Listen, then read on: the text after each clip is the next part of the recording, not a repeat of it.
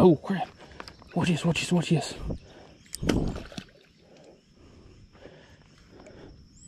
Are you serious? That's every bit of like a five or six pound bass.